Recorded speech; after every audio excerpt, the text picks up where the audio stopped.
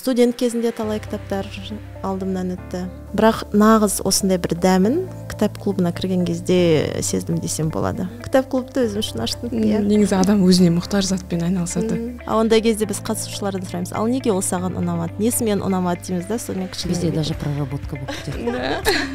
Терапия кетеді дей ма неге үлкен кісілер көбінесе сериалдар қарайды дегендер ше? Ну почему там ата анамыз зависают и жолдасымнан мынандай бір жауап естідім да то что эмоция жетпейді да. Қазіргі адамдарға эмоция жетпейді. Фредерик бакманның кітабын көбісі айтты мен ол кітапта сол кейіпкерде папамды көрдім әкемді и қабылдадым. Тағы да қайталап айтамын егер ол тегін болатын болса демек ол маған қажет емес.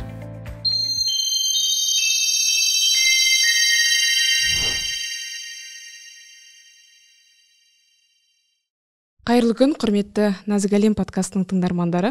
Бүгін бізде ерекше подкаст болғалы тұр. Бізде алғаш рет ә, подкастымызда екі бірдей қонақ келіп отыр. Ендеше ә, бисмиллах деп таныстырып өтейін. Ә, бірінші қонағымыз консультант психосоматолог әсел бердоңғарова. Ә, екінші қонағымыз алматы қаласы бойынша ә, кітап клубының жетекшісі жансая шерімбаева. Ханымдарымызды алғаш рет ә, видео подкаст. Ә, қош келдіңіздер. қош көрдік. Қош көрдік. Рахмет. Енді ә, мен сіздерді танимын бірақ тыңдармандармен өздеріңіз бір танысып өтсеңіздер. Атым әсел. Енді жаңа таныстырғандай ә, жасым қырықта психосоматолог консультант. Алматы қаласында тұрамыз. Ә, жансая ханым, ханымның алғашқы ашқан вип группасының мүшесімін. Егер иә? Иә осы тақырыпқа бола солай таныстырар едім өзімді. Ә, есімім жансая. Жасым отыз төртте үш баланың анасымын. Мамандығым бойынша финансист қаржы. Ә, бір жылдан бері кітап клубының жетекшісімін. Ә, енді ханымдар рахмет келгендеріңізге. Ә, және тыңдармандар бізде нәзік әлем подкастында елуден астам ә, рухани даму туралы подкасттар бар екен. Бірақ арасында ешқандай жаңағыдай кітап туралы айтылмапты. Сол үшін ә, сіздерді ә, кітап оқушы адам ретінде ә, тұлғалар ретінде кітап клубына қатысушы тұрақты кітап оқырмандар ретінде сіздерді ә, кітап менің тәрбиешім деген тақырыптағы ә, подкастқа ә, шақырған едім. Және екінші жартысы осы кітап клубы туралы болсын. Екіге бөлейік осылай подкастымызды. Ә, енді тақырыпқа кіріспес бұрын кіріспе ретінде сіздерге бір сұрақ қойсам. Ә, кітап сіз үшін не? Қандай атау берер едіңіз кітапқа? Ә, кітап мен үшін адам жайлы шығар адамды тану оның ішінде бірінші рет өзімді тану. Мен кәдімгідей кітапты оқыған кезде ана кейіпкерлердің эмоциялары сезімдері сондай бейнеленеді ғой. И мен иногда бүйтіп тоқталамын да и өзімде сондай нәрселер бар ма екен жасаймын екенмін деп кәдімгідей өзімді сол кітап арқылы кейіпкерлер арқылы сезімдер арқылы сөйтіп танимын өзімді адамдарды. И сосын кітап ол наверное саяхат шығар. Кітап арқылы әртүрлі жерлерде болып келесің сол іштегі оқиғамен бірге мемлекеттерде жерлерде оқиғаларда. Солай. Супер. Ә, яғни ә, кітап жаңа біріншісінде айттыңыз ғой тану деп иә? Бұл жерде кейіпкерлерден бұрын өзіңізді ә, танисыз ғой иә? Сол арқылы. Ну кейіпкерлерді ол жерде ішкі жан дүниесімен сипаттайды ғой иә? Ішкі сезімдермен мысалы сыртта кинода оны айтпайды ғой іштегі сезімдері. А кітапта оның бәрі детально айтылғаннан кейін адамды танисың да адам ретінде. Неше түрлі іштегі ойлары сезімдер бар. И соответственно сол өзіңді де танисың өзіңдегі сезімдермен де танысасың да. А менде де сондай бар екен ғой дегендей супер. Ал сіз әсел ханым қандай атау берер едіңіз? Мен де ойланып жаңа ойлап жатырмын да негізі әр кітап бір аят деуші едім. Мысалы ә, оқы деген аятымыз бар иә? И вот сол аят оқыған сайын ашыла береді да. Тура сол сияқты әр кітабымыз ол діни кітап болсын ол роман болсын ол ә, антиутопия болсын оқығанымызға қарағанда бір аят бәрібір бір аятпен теңестірер едік. Мысалы соңғы оқыған кітабымызды талқылаған кезде бір оқырманымыз келіп айтып жатыр да пайғамбарымыз саллаллаху бауырларымды көрмесем де қатты оларды сағындым деп айтқан болатын. И кітапта полиана деген қызымыз тәтесіне жетпесе де келмесе де ә, мен сендерді білмей жатып жақсы көрдім деп айтқан. Сосын кейін дикон таинственность атты да. Сол бала мысалы ол көрмесе де мен жансая оқып оқып жатқан кезде инсайт келді да. Мен негізі сол диконнан пайғамбарымыз саллаллаху қасиеттерін көре алдым деп айтып жатырмын да. Демек мен әр кітапты бір аят деуші едім. Супер машаллах ә, яғни бұл жерде ә, кез келген нәрсені оқы деген иқра деген алғашқы түскен аят туралы сөз қозғадыңыз ғой. Яғни кез келген нәрсені оқу ә, ол біздің таным көкжиегімізді арттырады дейсіз ғой иә? Бұл әлем классикасы болсын иә? Кез келген кітап болсын иә? Мысалы мен құранды олай қатты білмесем де бірақ мен ойлаймын да мына кітаптардың өзі мені құранға жақындатып жатыр да. Мысалы мен бір нәрсені ол жерде оқысам егер мен оны құранда табатын болсам ол кіп кішкентай аят болуы мүмкін да. А бірақ ә, оны басқа жазушылар оны кітап қылып жазған екен. Мысалы сипаттар болсын жаңа жансая ханымның айтқан эмоция сезімдері бәрі. Ол бәрі, бәрі бар ғой құранда. Негізі айтады ғой құран деген кітап ол ешқашан жазып бітіре алмаймыз. Мысалы әлемдегі бүкіл ағаштар қалам болса ал бүкіл көл мұхиттар теңіздер чернила болса иә жаңағы ә, жазатын. Ә, сонда бүкіл құранды жазып таусалмайды деп айтып жатыр да. Демек әлемде қаншама кітап болса сонша жаза берсек жаза берсек солай құран бізге ашыла береді ашыла береді деген үмітім бар иншаллах керемет. Аха. Енді бұл жерде жаңағыдай айтып жатсыз ғой әр ә, кітап ә, бір аят дер едім деп жатсыз ғой. Енді бұл жерде андай бір сұрақ қояды да ал кітаптың авторы мұсылман ба мұсылман емес па оған қараймыз ба қарамаймыз ба? Сол туралы айтсақ. Мен үшін маңызды емес. Сіз үшін маңызды емес иә? А сізге? Маңызды емес иә. Иә. Қалай ол мысалға былай ә, сырт көзге қарағанда бір қызық көрініп тұр.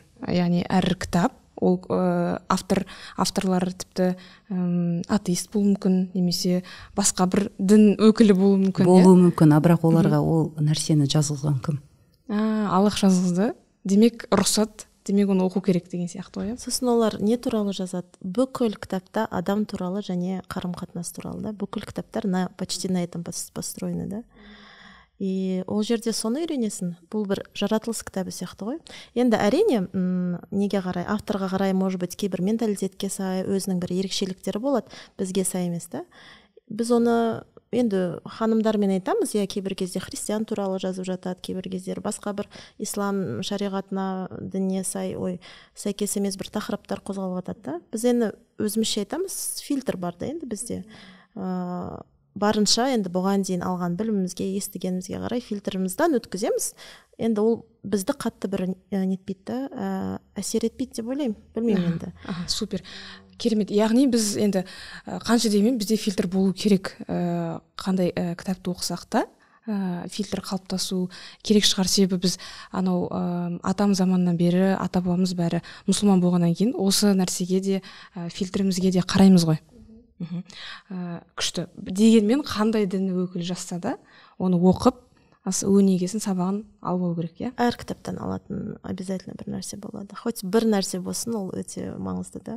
Қарым қатынаста адамды тануда өзін тануда білмеймін жаратылысты тануда сезімдерді тануда обязательно шығады. Бұл енді шығады деп айтып жатсыз ғой. Жаңағыдай даналық өлшеміне де қарайтын шығар иә? Яғни сіз мысалы ә, бір кітаптан біршама хикметтер табуыңыз мүмкін бірақ мен алып түсінбеуім мүмкін деген сияқты ғой. Осы кезде қалай ә, көбірек қалай айтсам болады кітаптың барлық сырын ала аламыз? Ә, енді ондай ожидание жоқ ну менде жоқ лично. И кітап клубында мысалы қатысушылардан да байқаймыз. Шынымен әркім өзінше бір призмасынан қарайды да. Біреу бір нәрсе алуы мүмкін біреу оны басқа жақтан алады. И тандем болған кезде кәдімгідей күшті бір ортаға сол шырын шығады да.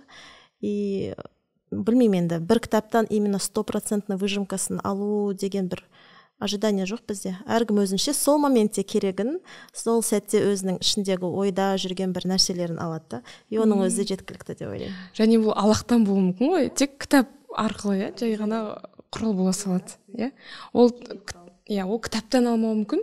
Мысалы досы айтып қалуы мүмкін иә. Бірақ кітапта бір керемет құралдың әркім өзінше керегін алады да. И бір уайымдаудың қажеті жоқ сияқты. Ойбай мен жүз процентін ала алмай қалдым ғой дегендей да. Енді көбірек алғымыз келсе біз оны и так сол клубта бір бірімізден аламыз да. А даже если жеке оқыса да адам керегін алады и ол жеткілікті деп ойлаймын. Кей кезде мынандай нәрсе болады да ә, екі жыл бұрын оқыған кітабым былтыр оқығанмен ерекшеленеді. Демек екі жыл бұрын болған әсел басқаша екінші оқыған кезде сен ана кітапты тереңірек ұғынасың тереңірек байқай бастайсың да сондықтан да ол дер кезінде келеді. Жаңа айтты ғой жансая апай дер кезінде келеді. Бірақ мысалы плаха кітабы нешінші жылдары жазылған мың тоғыз жүз алпысыншы жылдары жазылды ма? елу сегіз. елу сегіз енді алпысыншы жылдар сол кезде қазір бізге келген кезде өте актуальный тақырыптар көтерілді да. А, сонда ұм, шыңғыс айтматовтың жазғаны ә, ол кісінің даналығын сол кітаптан көре аласың да. Себебі қазір сен уже қырыққа келгеннен кейін кішкене өз өзіңді бір даналық келген сияқты сол кітаптардан даналықты көре алсаң демек маған даналық келіп жатыр деген сөз сияқты мысалы жаңа бір сұрақ қояйын деп тұрдым да. Жақсы қазір келсе тағы қоямын ә, енді осы тұста айтып кетейікші. А айтқым келген мынау болды. Есіме түсті. Ә, жаңа айтып жатсыз ғой екі жыл бұрын оқыған кітабым қазір оқыдым әртүрлі түсіндім әртүрлі хикмет алдым деп. Ә, анау подкастта да сондай. Ә, мысалы табиғат ағамен алғаш жазған подкасттарымды алдында бір рет тыңдадым да и жылаймын ғой.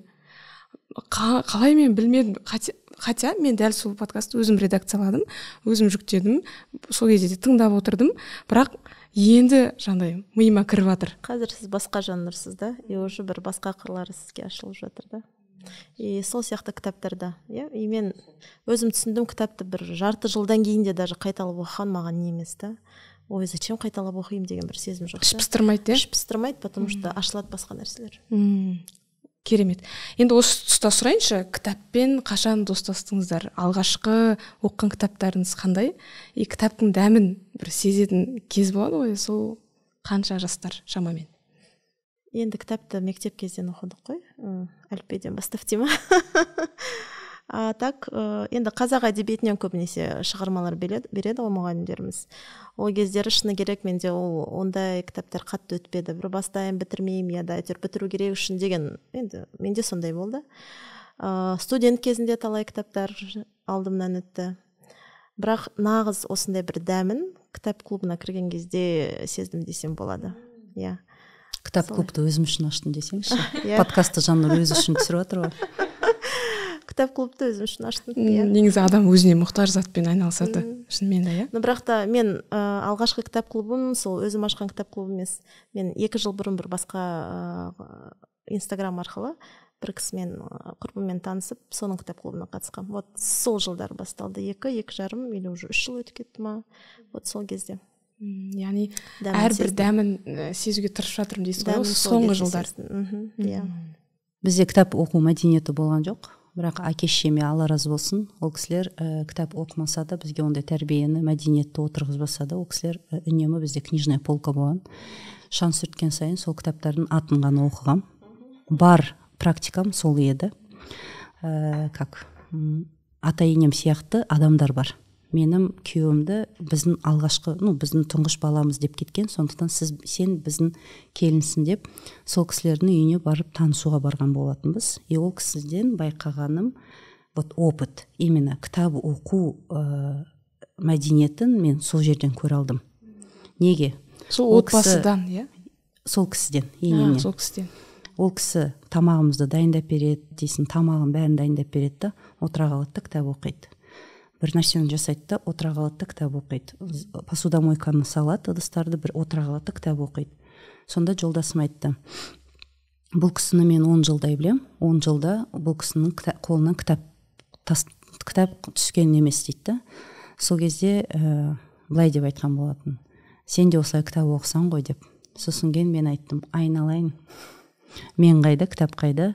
Мен от меня этого не дождетесь бірақ сол, сол кезде ол кісінің образы ойымнан кетпеді. Шыны керек. Одан кейін жаңа жансая апай айтқандай попытка болды. Оқимын бастаймын тастаймын оқимын тастаймын бастаймын бірақ білмеймін түсінбейтінмін оны. Содан кейін біз үш төрт жыл бұрын үйімізге көшкен кезде ә, стол жасатқан болатынбыз. Ол столдың үстінде полка болған. И мен кітаптарды сумкамен алып келдім да жолдасыма айтамын мына жерге кітаптарды қойсам бола ма? деп. Сосын айтты ә, олай қоюдың жай қоя салудың қажеті жоқ. Мысалы сен оқып қойсаң қайырлы болар еді деді. Да сол кезде мен ашуландым. Ашуланған кезде ой келді. Мен осы қашан ол? Иә ол кезде конечно ол жерде мен жолдасымды жеңдім көндірдім үйттім бүйттім да қойдым кітаптарды. Негізі ана жерде сіз жолдасыңызға емес өзіңізге ашуландыңыз иә, ғой бірақ негізі идеясы керемет еді. Оқып барып қою. Демек ана жерде жүз кітап болса жүз кітапты оқып қою деген керемет қой. Одан кейін екі мың жиырма үшінші жылы ма жиырма екінші жылы жиырма үшінші жылдың басында бірінші январьда шымкент қаласына барған болатынбыз. Ол жерде кішігірім ретрит болған. И сол жерде образование самообучение деген жерлерге кітап оқу деп жаздым ниет еттім. Ә, жылына 15 кітап оқу деп жаздым да өз өзіме күлдім негізі. И көп ұзамай екі айдан екі аптадан кейін жансая ханым неге жазады сторисына. Кітап клубын ашқалы жатырмын. Осылай осылай осылай деп солай кіріп кеткен жайымыз бар. Күшті керемет. Енді бұл жерде м кітап деген мана айтып жатсыз ғой оқылғысы келеді иә негізі. Ә, біз бір ұстаздан сабақ алған кезде м айтқан кез келген ә, зат қызмет еткісі келеді аллаға. Ә, мысалы үйде тұрған шкаф болсын иә сөрелер болсын аллаға қызмет етіп ол құранды ұстап тұрғысы келеді деген сияқты. Немесе ә, үйіміз аллаға қызмет еткісі келіп ә, қонақ күткенде қуанады. Яғни үй болғанда бұл жерде үйдің ішіне детальға кірсек ә, жары мысалы ағаш болуы мүмкін қабырғасы. Ал ағаштан детальға тағы да кірсек ол тірі нәрсе ғой. Тірі, тірі заттың барлығы аллаға қызмет етті деген сияқты. Парақтың да кітаптың да ар жағында тірі тірі зат жатыр. Яғни ағаш жатыр. Ол да аллаға қызмет еткісі келеді екен. Ә, сол үшін оқығысы келеді деп естіп мен кәдімгідей жүрегім ауырып кетті. Себебі бізде де ә, оқуға қиналамын. Ә, осы жерде сұрақ қойғым келеді. Тұрақты оқу үшін не істеу керек не істеп жатсыздар? Өз басым жалпы клубсыз жүрген кезде мен тұрақты оқымайтынмын. Ә, енді өзімізше қызығып кітап дүкендерінен сатып аламыз иә басқа біреулерден естиміз әрине енді көп сатып алмайтынмын бірақ сонда да сатып аламыз. Бір бастаймын бітпейді бастаймын бітпейді. Бір кездер қарасам бір үш төрт кітапты өзімше бастағанмын. Үшеу төртеуі де бітпеген дегендей ғой. Ыыы енді мен үшін шешімі ол кітап клубы болды. Мен сол ә, бірақ ол клубқа сол екі жыл бұрын құрбымның клубына кірген кезде мен соның өзіне қалай кірдім? Негізі инстаграмда көремін ғой. Басқа ханымдардың неше түрлі книжный клубтар бар қатысады. И мен сол кезде ойлайтынмын ойбай до книжного клуба мне очень далеко өйткені мен өзімді білемін ғой қалай кітапты тұрақты оқымаймын бастаймын бітірмеймін маған қиын да кітапты оқығанша. Ыыы и ол адамдарды көрген кезде осынша кітап бітірдік өйтіп жатырмыз бүйтіп жатырмыз. Мен кәдімгідей оларға қызығатынмын бірақ өзімді оларға лайық көрмейтінмін да. И ойлайтынмын мне точно до клуба далеко деп. Ыыы и бір құрбымның сторисін көрдім. И сол кезде ол жазды жаңа егер кітап оқуды қиналсаңыз жаңа ұйықтап қалсаңыз бастасаңыз бітірмесеңіз почти бәрі менің проблемам да ол жерде. Онда кітап клубына келіңіздер деді. И сол кезде ішімде бір нәрсе вот жаңағы кликнуло дегендей иә бір ә, отклик болды да и мен сразу сол уақытта оған жаздым қатысамын деп. И мен үшін шешім сол болды кітап клубы. Өйткені ол жақта бір не бар да ә, не бар дисциплина бар орта бар бір бірімізді поддержка бар кездесетін күніміз бар оған дейін оқуым керекпін деген бір мақсатым бар да. Ә, сразу тұрақты оқып кеттім демеймін бірақ сол жолдағы бір қадамдарым да. Иә. Солай андай бізде бір минимумдар бар ғой. Ә, күніне он беттен оқысаңыз жеткілікті деп. Тез тез онға жеттім ура! Енді кезінде сөйтетін едік иә когда тоже сондай минимумдарды қойып мақсат там челлендж да өзіме. А бірақ қазір кітап клубында олай емес. Иногда мен кітап всегда өзіммен бірге жүреді қасымда. А бірақ бір, бір екі күн мен оқымауым мүмкін ол кітапты там уақыты келген кезде бір ондап бетін оқып кетесің дегендей солай. Енді супер тұрақтылық та жоқ негізі өзімде лично. Но бірақ кітап клубымен әйтеуір оқылып жатыр да ортамен. Супер қазір кітап клубына бөлек тағы келеміз. Сізден сұрайыншы. Ә, ал сіз не істедіңіз жаңағыдай проблемаңыз болды. Қазір тұрақты оқып жүрсіз. Нәтиже аллахтан ғой. Әсте әсте келе жатырмыз. Ә, мысалы бірінші кездесуде бір бірімізбен таныстық. Екінші кездесуде о кітап сатып алу керекпіз ба? Ә, взнос деген бар екен ғой кездесуіміз бар екен ғой мен өзіме қатысты айтып жатырмын да. Сондай нәрсе болды. Үшіншісінде уже ұнай бастады. Үш, үш төртіншісінде уже ашыла бастадық. Уже ә, түсінесің да ол клуб тек қана клуб емес. Ол нағыз әйелдің дамитын ортасы екенін түсінесің содан кейін ә, а бесінші ма алтыншы ретте де уже а кітап оқу керек екен ғой. Демек ең әу бастан мен книжный клубқа кірдім болды мен жыртам қазір бәрін оқып тастаймын деген нәрсе жоқ. Ол жерде ә, алтыншы ә, кездесуде жансая ханым екеуміз коллаборация жасап ә, менің оқырмандарыма қатысты ә, коллаборация не аштық. Менімен бір топ иә? аштық. И вот сол жерде топты ашқан кезде келе жатқан кезде мынандай нәрсе келді да маған. Нағыз өз өзіме уақыт бөлген кез и өзіме ақша бөлген кез и көңіл бөлген кез осы книжный клуб екен деген ой келді да негізі ә, ол жерге барып біз тоже нетеміз андай бриллиант сияқты оттачиваемся. Бір бірімізге үйкелеп ше сондықтан да ана кітап оқу ол бір бахане дейді ғой жаңағы сылтау. И өзі отырады сосын кітап оқу. Мысалы кей кезде егер жансая мысалы бізге шарт қоятын болса келесі кездесуден кездесуге мысалы кітап оқып келіңіздер деп шарт қоятын болса мен онда қырсығып оқымаушы едім например. Мен оны біліп айтпаймын олай иә. Иә негізі. Кез, кез келген адамға егер мен дедлайн қойсам біреу бар иә достигатор ол оқиды үйтеді бүйтеді. А бірақ кейбір адамдарға комфорт болмайды. Сосын кейін айтады мен де оқымай келдім дейді да. И сол кезде сен өз өзіңді қабылдауды үйренесің да. Если жансая не прочитала то со мной тогда тоже все окей. И жансаяның жақсы айтатын бір сөзі бар күшті айт өзіме и это окей дейді да. Шынымен окей. Оқымадым. Демек мен қазір жолдамын да келе жатырмын да. Нәтиже аллахтан қалай болатынын білмеймін да. И вот әсте әсте деген мысалы былай қарасаң тырысасыз. тырысудың өзі маған сложно негізі. Қиналамын мен тырысқан кезде. Сондықтан да мен мысалы қазір 15 бесінші ай болып жатыр ма? он төртінші ай болып жатыр он бесінші кітап оқылып жатыр әсте әсте. Самое главное в эту воронку попасть. Жолға шығу жол иә, өзі көрсетеді иә, деген сияқты ғой иә. ал нәтиже үшін жүретін болсам ол жерде тырысу пайда болады қиналу пайда болады. Значит я не туда иду или не ради аллаха. Түсіндіре алдым ба? Тырысып қаламын деген ұстамам бар да арқам тырысып қалады. Шынымен тырысу деген сөз жаңағыдай орысша стараться енді қазақша тырысу ғой бірақ тағы бір мағынасы андай бүйтіп бүйтіп тырысып қалу дегенге келеді екен ғой иә?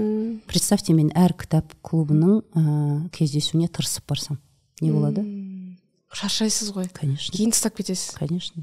А сіз көрген шығарсыз біздің рилстарымызды? Это все от того что біз тырыспаймыз.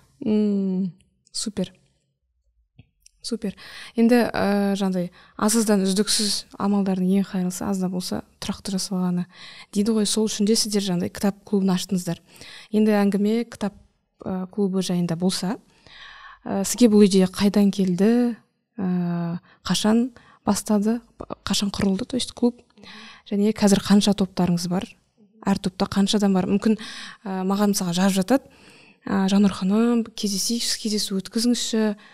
И мен ойлаймын ол нәрсе ә, мысалға неэффективно тиімсіз иә даму үшін. Яғни бір ай кездессем кездеспей қалуым мүмкін қыздармен деген сияқты. Ал егер тұрақты түрде бір тақырып болса кітап деген сияқты кітап клубы ол эффективный болушы еді. Сондай кітап клубын ашқысы келетін ә, қыздарға айтып берсеңіз. Мхм. Енді бағана айтқандай бұл идея қайдан келді? Біріншіден мен өзім бір клубқа қатысушы болып қатыстым да. И сол кезде маған соның атмосферасы қатты ұнайтын. Вот біз ол жерде әртүрлі жанр оқыдық та. Не психология. Ну психология да болды арасында бір екі возможно что то не помню уже. Кажется психология онша болмады. Діни бір екі кітап болды там үш айларда дегендей да. А в основном неше түрлі жанрмен таныстық та. И маған сол ұнады. Мен соның бір дәмін сездім да. Өйткені мен енді бұған дейін ондай өйтіп қатты оқымаппын жанрларды әртүрлі жанрлармен таныспаппын. И где то бір бір жарым жылдай мен соған қатыстым. Әр кездесуіне мен асыға баратын почти қалмайтынмын десем де болатын бірінші қатысып алу күшті екен ғой иә жақсы идея иә иә мен бірінші өзім қатысушы болғанмын ол жерде. қатысушы ретінде қандай и әр кездесуге мен кәдімгідей қуана баратынмын қалмай баратынмын. Бірақ та сол бір жарым, бір жарым жылдан кейін кішкене менде бір қалай тоқтау болып қалды ма бір ара беріп қалдым. Бармай қалдым что то оқымай кетті кітаптарым. И жетекшісінен сұраған кезде алия деген құрбым ыыы ол айтты итс окей деді. Ондай болып тұрады иногда адамдарда кейбір кезде сол как бы ара беру ол да окей деді. И сонымен мен де бердім сәл шыға тұрдым оқымай тұрдым. Ақыры сонымен короче мен сол клубтан шығып кеттім. Өз өзімен бір сондай бір состояниеда болдым. Бірақ ойымда бір ойлар болды да өзімнің бір өзім кітап клубын ашсам ба деген бірақ ойлап қойдым жансая такая какой книжный клуб? Ты сама только учишься читать книги қайдағы дегендей и сосын жауып жүрдім ол ойымды да? А бірақ таныстарымның арасында осы сіздер сияқты мысалы әсел ханыммен он жылдан астам уақыт таныспыз да? Сондай құрбыларымның арасында мен ұйымдастырғым келді да? Сол жаңағы атмосфераны құрбыларыммен бірге сезгім келді да? И сонымен сол жақтан пайда болды. Бір жарты жылдан кейін мен уже жиырма екінші жылы жазда сол оймен де болды. Бір екі құрбыммен бөлістім. Олар маған давай біз қатысамыз деді. Солар кішкене жігерлендірді олардың ниеттері. И жиырма үшінші жылы әлі есімде январь айы иә жиырма үшінші жыл былтыр жетінші январь ол ой жүр ғой кітап клубы. Бірақ мен оны вообще бүйтіп жауып тастап жүрмін да. Сөйтіп бір түні мен кәдімгідей ұйықтай алмадым. Ана клубтың ашу идеясы ойымнан кетпейді ғой. Мен жарты түнде ұйықтай алмадым. А мен үшін ұйықтамау ол жат нәрсе да. Мен болды. Жолдасым қызығады мен ұйқыма деймін ба? Жастыққа басым тисе ұйықтап қаламын и кәдімгідей қиналдым ана түн бойы бар ғой. И айттым болды я не хочу уже больше жаңағы свой сон терять. Болды аллахтан ғой бұның бәрі. Бұл сезімдер ойлар да мені мазалап жатқан ыыы бұл аллах саған берді ма? Значит все баста. Ешнәрсеге қарама күтпе уайымдама баста дедім. сөйтіп сегізі күні а жоқ сол жетісі күні мен сторисқа жаздым. И уже сегізі күні бір группа толып ашылды кітап клубы сонымен а бірақ не үшін аштым мен? Өзім үшін аштым да. Өйткені клубтан шықтым да байқаймын кітаптар оқылмайды да. Өзімше бастаймын бірнеше кітаптарды оқылмайды бастаймын оқылмайды бітпейді. Сонымен мен түсіндім кітап клубына мен өзім мұқтажбын ол маған керек дедім да. Сөйтіп өзімнің құрбыларымның арасынан сол бір группа ашып өзім үшін поддержка болсын бір бірімізге мотивация болайық кездесейік талқылайық деп мен сол үшін аштым кітап клубын. И кітап клубында маған ең ұнайтын нәрсесі жетіспейтін нәрсесі ол талқылаушы. Кәдімгідей сок десем болады талқылау когда сен ана қаймақ қой. Қаймақ не знаю все там специи все все там есть короче. Сорпасы дейсің ба жілігі дейсің ба тұзы дейсің ба иә. Сонысымен маған қызық кітап клубы. Өйткені ана сен енді оқып барасың өзінше өзінше бір нәрсе бір беткейлі өзіңнің призмаңнан түсінесің я да түсінбей барасың кейбір кезде да кейбір кезде ана бір кейіпкерге ашуланып или сондай бір сезімдермен барасың а тыңдайсың да жаңағы қыздар қатысушылар бір басқаша айтады да мен мысалы қойшы ананы мен жақтырмадым десем а наоборот ол маған ұнады оның позициясы дейді да. Я такая вау серьезно оказывается иә деп ана жерде кәдімгідей бір көк жиегін ашылады да бір и сонысы мен қызық когда бір кітап именно жан жақтан талқылаған кезде маған сол жетіспеді кітап клубынан шыққан кезде. Мен сол үшін аштым кітап клубын. И сөйтіп шүкір жиырма үшінші жылы январьда сразу бізде бір тобымыз толды осы әсел ханымдар өзімнің бәрі өзімнің құрбыларым баяғыдан танитын. И өзімше кездесіп жүрдік одан кейін сториста енді менің блогер ханымдарым деймін әлия ханым әсел ханым иә. Ол сториста бөліседі басқа да құрбыларым бөліседі. Сөйтіп адамдар уже интересно ете бастады. Мен де қосылайын дегендей. А ол кезде мен өзімше енді сеземін да кітап клубында бір он он бес адам максимум даже мен ол кезде он он екі адам дейтінмін да бір топта көп адам болмаса екен дегендей. Өйткені уже улап шулап кетеміз бір бірімізді естімей кетеміз кішкене сондай да. И мен ойладым жақсы онда екінші топ ашайын деп. Мен қосқым келмеді бәрін бір топқа да екінші топ ашайық. Сонымен кетті әсел ханымның құрбыларынан запрос келді. Я хочу әсел ханыммен ойлану керекпен бірге болғым келеді дейді да. Ойбой не істейміз? Ол жаққа топқа орын жоқ деп мен бәрін жауып қоя бердім. Бірақ та менің масштабный құрбым а давайте ашайық дейді да жаңағы. Енді мен оған ұсыныс тастадым ол келісті. Сөйтіп әсел ханыммен үшінші топ ашылды әлия ханыммен төртінші топ ашылды. И қазіргі таңда біз өткенде сол бір жылдықты атадық. Ыыы бір жылдың ішінде альхамдулиллах төрт тобымыз бар. Бір қырық шақты адам қырық қырық бес шақты адам бар. Қатысушы. Иә шүкір. Керемет. Енді бұл жерде мен түсіндім маған не жетіспейтінін. Иә не жетіспейді екен ә, кітап клубы жетіспейді екен. Талқылау иә именно талқылау. Орта болуы мүмкін кітап оқитын адамдар көбісі ортамда. Бірақ біз талқыламайды екенбіз. Басында айтты ғой жаңа бір персонаж ұнамай қалса сразу шығып кетемін деп айтып отыр ғой. Yeah. Иә. талқылау болса она через талқылау может его и принять деген сияқты кітап оқуда бір мәселе. Ә, оқимын кітапты ұнамайды ғой бір кейіпкер. И қылығы жаңағы шам, шамыма тиеді нервыма тиеді да сосын неге оны еще басты кейіпкер болады ол? Аламын да жаба саламын рахмет деп та. Бұл не деген жертва деп деген сияқты ғой.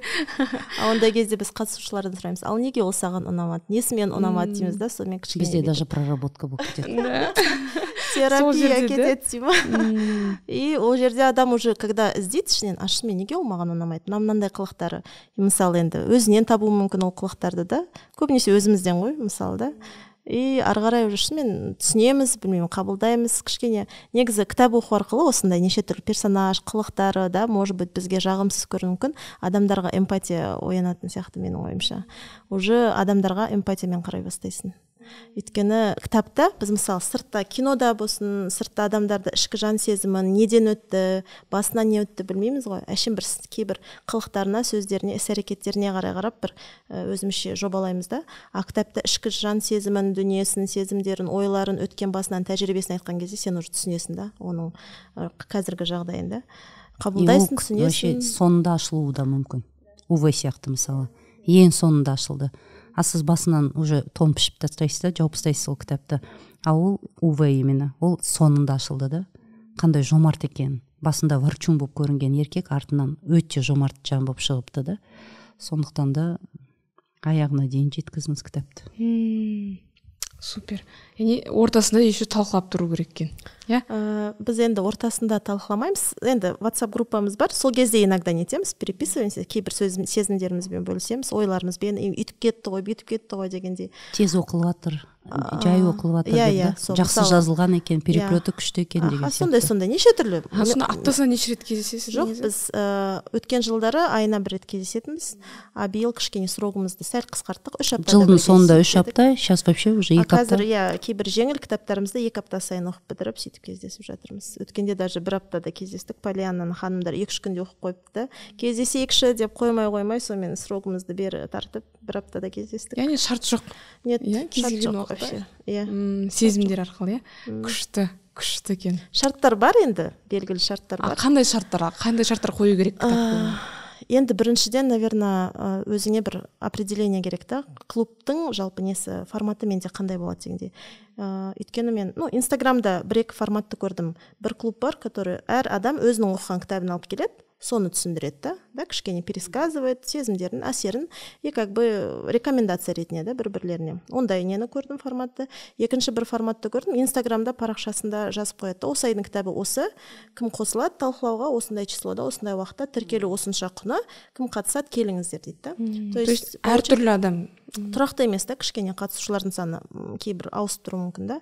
А маған ұнағаны сол өзімнің көрген клубтағы маған сол тұрақтылық ұнайды. И мен үш шарт қойдым. Біріншісі ол жаңағы бір кітап айына бір кітап оқимыз. Соны кездесеміз бірге талқылаймыз. Бұл кездесуге келу да енді. Енді әрине келмесе де біз ондай неміз жоқ. Ә, екіншісі ол жаңағы тұрақтылық деп мен оны да жазамын өйткені бір тұрақтылықта даже бір бірімізге бір жақын боламыз да уже бір бірімізді тартып тұрамыз бір бірімізге тартынып тұрамыз да ана жерде кездесуге де асығамыз. И тұрақтылықта, тұрақтылықта да сіз айтпақшы бір даму бар да. Берекет бар иә. берекет бар иә. Ыыы и үшіншісі енді ол несі? Ә, взносы жарнасы. Ыыы осы үш шарт бізде. Жаңағы жарна алған жарнаңызға кітап аласыз өзіңіз иә? Өзім кітап аламын еңбек ақыңыз өзіңіздің. Еңбек ақым иә. Супер. А кітап имеется в виду сол жарнаның ішіне кітаптың ақысы кіреді дейсіз ба жоқ кірмейді. кірмейді. Әркім өзі тағы. Супер. Жақсы. Енді ә, мана бір сұрақ қойғым келді. А манас айттыңыз ғой бір сөзіңізде. Ә, кітап негізі сылтау ғана. Ә, біз кездесіп тұрамыз оның өзі маңызды деген сияқты айттыңыз. Шынымен де андай адамдардың арасында бір мәміле азайып кеткен сияқты көрінеді. Себеп те болмайды кездесуге. Ал бірақ кітап клубы болса мысалға бір себеп сылтау болатын еді да кездесіп сөйлесіп тұруға. Адамдар андай сөйлескенде бір дұрыс әңгіменің ортасында дұрыс ортада дұрыс әңгіме айтылса бір жаның рахаттанады ғой. Ұнаған нәрсе маған бір айтсам бола ма? Жаңағы ғайбат деген тақырып болды ғой мысалы. Еститінбіз ғой көп?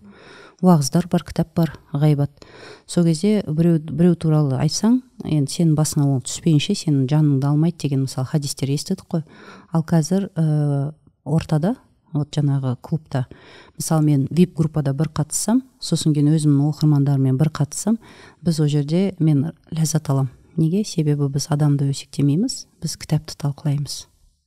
И осының өзі үлкен өзгеріс та ал үлкен өзгеріс дегеніміз жаңағы образ жизни дейді ғой жаңа өмір салты өзгерсе трансформация болып жатыр деген сөз дейді. Да сондықтан да кітап оқыған кезде действительно адамды емес а вот сол кейіпкерлерді талқылау арқылы өзіңді түзету деген керемет нәрсе. керемет нәрсе иә. Шынымен де. Егер мысалы кітап болмаса бізге жеңіл да ғайбатқа бүйтіп кіріп кету жеңіл болушы еді егер бір ортада бір үлкен бір тақырып жатпаса иә үлкен әр кейіпкерді ашқыңыз келетін сондай момент болмаса иә.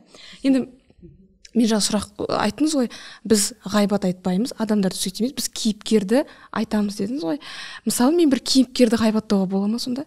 Мысалы маған мына кейіпкер ұнамай жатыр деп айта аламын ба? Мен өзім туралы айтып жатырмын ғой. Мен оны ғайбаттап жатқан жоқпын. Ол кісі ол ә, кейіпкердің іс әрекетін іс әрекетін ұнамайтынын айтуға болады. не знаю білмеймін. Мысалға сіздер ә, кітап клубында кейіпкерлерді ол туралы ғой? ол болады болатын шығар иә ол.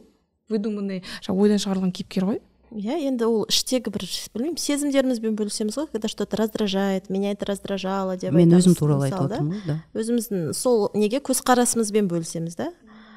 И солай солай шығады не үшін раздражало қалай басқасы шығады а білесің ба наоборот маған ол іс әрекет ұнады. Қайта оның ішінде стержені бар адам көрінеді дейдіші и сен а шынымен де он не поддался он не прогибнулся и он стоял на своем дегендей бір ойлар келеді да и қабылдау кәдімгідей там не только талқылау там кәдімгідей кетіп қаламыз. Күшті күшті. Ә, енді мына жерде мындай бір сұрақ жазып қойыппын. Ә, соны оқи салайын. Оқи салыңыз. Себебі негізі жауабын ә, жауабы маған келіп тұр. Бірақ дегенмен жазылғаннан кейін оқиын кітап оқығанда ә, жаңағы кітаптан әр адам әртүрлі инсайт әртүрлі хикмет келеді ғой. Ә, және оның барлығы адамның жаңағы ішкі күйінен шығады деп айтып жатсыз ғой. Адам кейіпкер туралы емес негізі өзі туралы айтып жатыр деп айтып жатсыз иә. И сондай кезде кітап клубында талқылау барысында әртүрлі көзқарас әртүрлі сезім и әртүрлі жан күй болады әрқайсыңызда осы кезде кітаптың басты бергісі келген идеясы жоғалып қалмай ма деген сұрақ. Не дейсіз әсеке? Интересно. Шартымыз вообще жоқ. Басты несі қалай ол қандай мақсатпен жазды? Біз өзіміздің талқылауымызды жасаймыз да. Мысалы бізде ә, жансая ханымды мен басқаша көремін мысалы. Мен ол кісінің уже үлкен үлкен бір ғимаратта үлкен книжный клуб ол жерде бүкіл кездесулер кішігірім кітапхана кішігірім вип комнаткалар андай не кездесу жасайтын чай кофе ну как ә, не бар ғой коворкинг центр сияқты. Мен сондай көремін мысалы.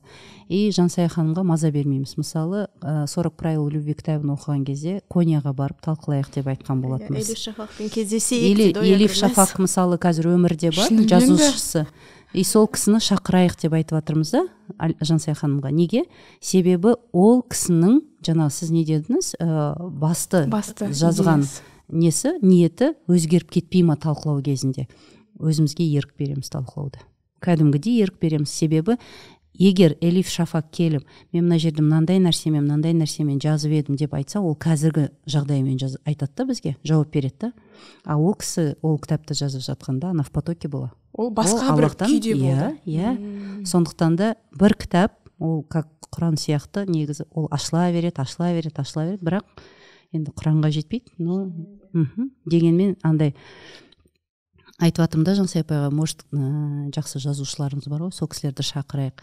Сол кісілердің мысалы оригиналын тыңдайық. Ол кісілер қандай мақсатпен жазды сол кісінің кітаптарын иә біз ә, сол кітаптарды оқу арқылы талқылаған кезде ол кісілердің қандай күйде жазғанын и бізбен ол үйлесті ма үйлеспеді ма дегенді көрсек мысалы на практике. Бірақ ол да ол күйді ұмытып қалады ғой негізі. Иә. Иә ол күйде тура жүз пайыз сол күйде болмауы мүмкін. Де, мен даже таңғалмаймын егер мысалы ә, сол жазушыларымыз келіп біздің талқылауды естіп ол өз кітабын басқа қырынан таныса мен оған таңғалмаймын. Иә иә иә. Мен ойлаушы едім ә, бізде орыс тілі әдебиетінен өте керемет ә, мұғалім болатын. Ә, әлі күнге дейін есімде. И ол жаңағыдай война и мирді сондай талқылаған кезде мен ойлайтынмын ол сондай керемет қылып талқылайды. Мен айтатынмын негізі автордың миы бұған жетпеген сияқты. Негізі бұл апайдың өзінің жаңағыдай терең жаңағыдай ойлауы сияқты деп ойлаушы едім. Қалай барлық жазушылар сондай керемет жазған ба деп ол бір әр сөзге осылай ә, қадалып содан жаңағыдай хикметтер шығарып отырады. Мен даже бір кезде қиялдан мен қиялданатыным бар да элиф шафак шақырған кезде біз талқылауды естіген кезде ол кәдімгідей таңғалатын бір даже нем бар картина бар. Ол кәдімгідей таңғалатын картина бар. шынымен шақыру керек онда. Иншаллах иә бұйыртса. Ол кісіге қалай шығуға болады екен? Европада тұрады. Инстаграм арқылы. Gmail болу керек. Олар gmail тексеретін тексеретін қоғам ғой десең иә. Gmail тексеру керек ол кісілер.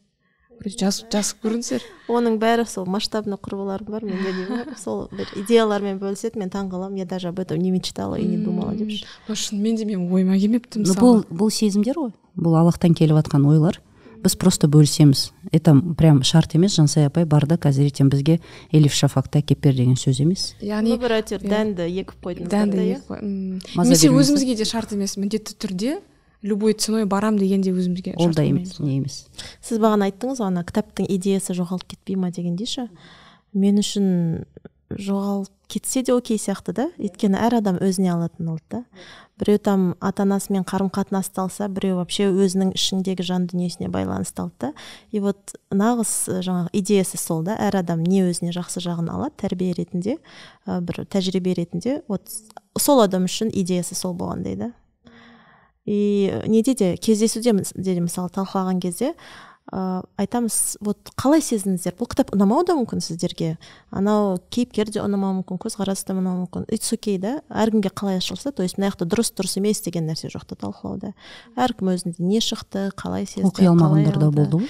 Оқи алмағандар да болады. Оқымай келдім бастап оның бәрі окей бірақ өздеріне сұрақ қойған кезде ойланған кезде айтады менде сопротивление болды. Себебі тура осындай ситуация өмірімде болды дейді. Яғни кейіпкердің ситуациясы сондықтан да ол вообще не емес шарт емес. Шарт емес иә? Бірақ көбінесе оқымай келген қатысушылар сосын ана талқылауды қызу талқылауды кішкене қатыса алмай қалады ғой ішіне. Сәл өкінеді туф оқып келген келесі кітапты мен точно оқып келемін дейді. В теме болып ана адамдар түсініп иә? Ана эмоция нелерді көреді ғой соған қосылғысы келеді да. Ә, сәл кішкене өкініп қалады. Ә, немесе кейбіреулер айтады осы талқылаудан кейін бұл кітапты бітіруге құлшынысым менің артты дейді да сөйтіп бітіруге тырысады да. Керемет мынау бұл жерде мен ә, кітап оқу туралы ғана емес ә, кітап жазу туралы да кәдімгідей шабыт алып кеттім. Ә, себебі андай ғой ә, мысалы дұрыс түсінбей қалса деп ойлаймын ғой мен бірдеңе. Пост жазайын десем ой қазір дұрыс түсінбей қал бірақ ол өзін оқып жатыр ол жерде. Яғни пост жазсам да адам ол өзін оқиды. Яғни идеяны алып жүрегіне бүйтіп қойып қоюға мен жауапты емеспін деген инсайт келді да. Керемет. Бізбен жүрсеңіз инсайттар көп келеді инсайт таратамыз деп қойсаңызшы күшті енді мындай сұрақ қояйыншы мана айттыңыз ғой кітаптағы кейіпкерлерден сабақ аламыз осы процесті ашып айтайықшы маған әлі қызық болып тұр мысалы маған бір кейіпкер ұнамады иә мысалы махаббат қызық мол жылдардағы басты ә, кейіпкер қыз ә, мәнсия ма еді аты меңтай меңтай меңтай иә сол кейіпкердің мысалы андай ұнамай қалады кейбір нелері ал мен одан қалай сабақ алайын ал? Енді сол не нәрсесі ұнамаса білмеймін енді мынандай сөз бар ғой. Ақылды адам өзінің қателерінен сабақ алып как бы олар жөндейді немесе тәжірибе алады. А одан да ақылды адам басқа біреудің ә, тәжірибесінен сабақ алады дегендей да. Вот сол сияқты шығар. Егер сізге ол іс әрекет ұнамаса онда өзіңізде уже ол нәрсені жасамауға тырысу шығар сабағымыз. Мысалы енді ағайлар да семинарда айтады ғой там ата анамызға басқаларға болса ренжімейміз нетеміз шарт қоймаймыз просто көреміз бізге ол нәрсе ұнамады екен значит мен де ол нәрсені жасамауым керекпін болашақ балаларыма иә? Иә. Тағы да бір нәрсе айтқым келген еді. Ладно әсел апай сіздің қосатыныңыз бар ма? А мен мынандай нәрсені қоса кетсем бола ма? кешірім сұраймын. Өткенде бір талқылауда сондай ой келді да. Мысалы құран кәрімнің енді әрине мен оның маманы да емеспін бір супер оқыған адам емеспін. Бірақ жалпы ә, қараған кезде ә, жеткізу методикасы көбінесе пайғамбарлардың оқиғаларынан тарихынан өмірбаянынан ғой. Ә, то есть бір адамның несін тәжірибесін өмірін алып келеді. И біз соны оқимыз. И жеткізу методикасы сол деп кішкене көремін да. Методикасының бірі да мысалы. Бір адамның қиссалар арқылы да да қиссалар оқиғалар бір адамның өмірі жайлы түсіндіреді да. И значит адамға сол методика кішкене қонымды да. Басқа біреудің уже практикасын көреді да. Тек қана теория емес практикасын көреді. Ұнайды ұнамайды білмеймін енді. Өзінше бір пайым алады да уже тәжірибе сабақ. И мен кітаптарды солай көремін да. Тоже как бы бұл жерде бір адамның басынан өткен оқиғасын тәжірибесін өмірін көрсетеді да. Сен оны оқисың сырттан бақылайсың и өзіңе үшін уже ары қарай сабақ аласың да. Күшті. Тәрбие аласың да. Вот жақында маған сондай бір ой келді. Керемет ой шынымен де ә, керемет методика ғой. Себебі сен басынан аяғына дейін оқисың ғой. И сен сол басынан аяғына дейін бүкіл кейсті көре аласың. А мен қазір здесь и сейчас өмір сүргеннен кейін менде өткен шағым жоқ болашағым жоқ. Мен қазір тура қазір өмір сүріп жатырмын. И кітапқа енген кезде жаңа айтты ғой саяхат деп. Шынымен ол саяхат та. Сен басынан аяғына дейін сол кейіпкермен боласың. Оның кешкен күйлерін оның сезімдерін оның ә, қандай жаңағы ойларын бәрін сен білесің. И ол жерде өткен кезде ол қалай өтті? Тура сен солай өту өтпеуі уже сен ары қарай өзің менді шешесің да. Супер. Мысалы анау мектеп кезде де ә, химиядан биологиядан ә, теориясы бір бөлек ал практикадан тәжірибе жасасақ эксперимент жасасақ иә қонымды да иә қонымды. И мысалы менде химия десе эксперименттер есімде да қалай иә. эксперименттер жасадық. Биологиядан да биология десе мектеп бітіргенімізге мысалы төрт жыл бес жыл болып жатыр. Именно эксперименттердің андай көрінісі есімде. Қалай біз тұрдық қалай ақ халат киіп жаттық. Бұл кәдімгідей шынымен адамға үйретуде практика деген нәрсе ең керемет құрал екен иә. Мысалы жаңа оқыған кітап бірінші оқыған ә, күретамыр кітабы бар ғой.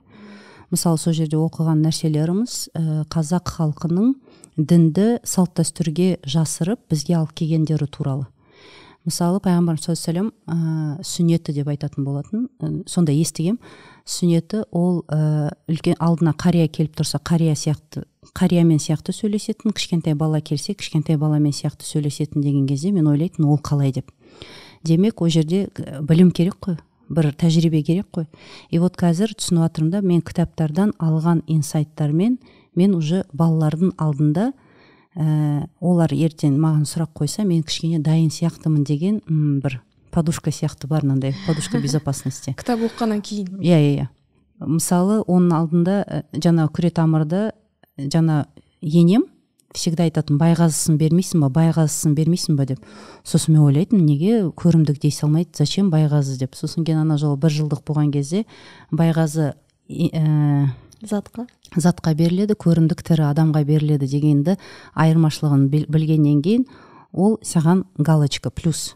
Сен баламен сөйлескен кезде түсіндірген кезде біреуге айтқан кезде сен ә, дұрысын түсіндіріп бересің да жол сілтейсің да ол уже білетін болады. Сосын кейін келесі кітапта мысалы алғанымыз атомный привычки.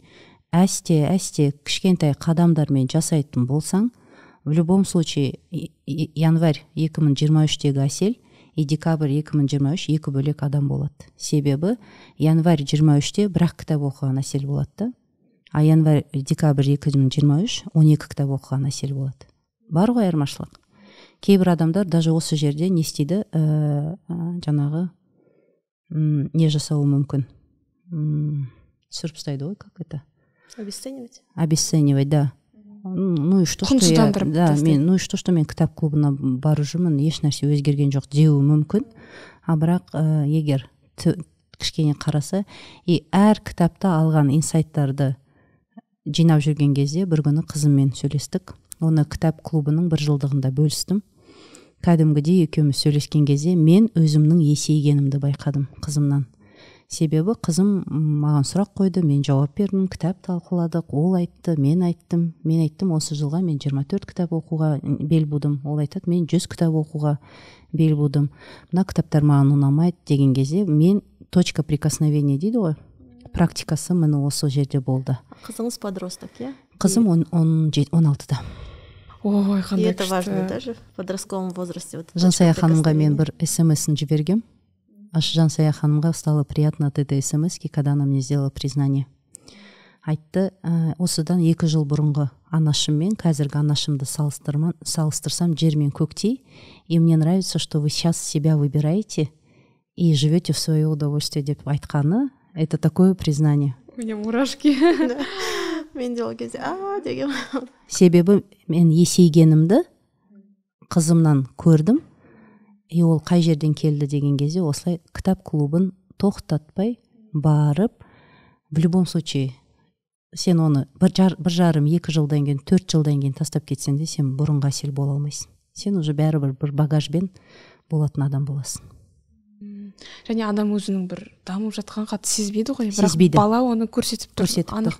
Э, көрсетіп тұр иә? Кәдімгідей кітаптарды авторларды ә, қыз- мен книжный клубта жаңа бір жылдығында сыйлыққа алған кітапты көрсетіп жатсам авторларын біледі ғой. Бұл үш апалы сіңілі автор. Біреу үшеуі де махаббат туралы жазады бірақ үшеуі әртүрлі махаббат туралы жазып жатыр деген ә, информация берді. Анализі де бар иә еще? Сол кезде былай қарасаң вот пайғамбарымыз саллаллаху алейхи сүннетін түсіндім да. Он вот вот разговаривал білім керек.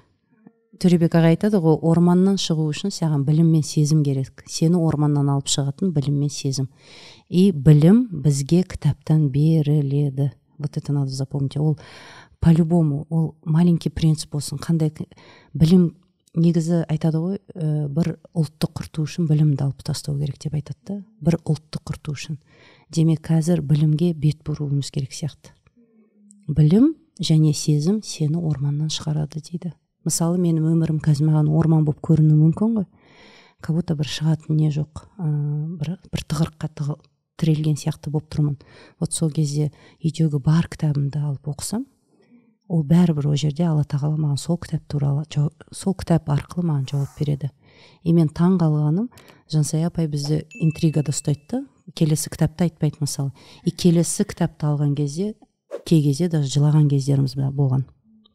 Не үшін Неге? жыладыңыз мысалы сорок правил любви кітабы ол жерде жыладым мысалы полянада жыладым таинственный сад деген кітап оқу барысында имеется в оқу барысында жыладым. и там уақытында келді да тура маған керек кезде келген кітап та сондықтан да былай қарасаң ол сезімді жансаяға беретін кім мысалы? Алла тағала.